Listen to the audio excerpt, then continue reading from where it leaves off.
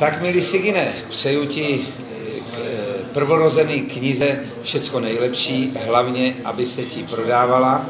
Doufám, že neprodáš víc výtisku než já, protože moje knížka byla bestseller, ale ty si taky nekopal nějak moc špatně, takže jsme kamarádi, musíme si přát.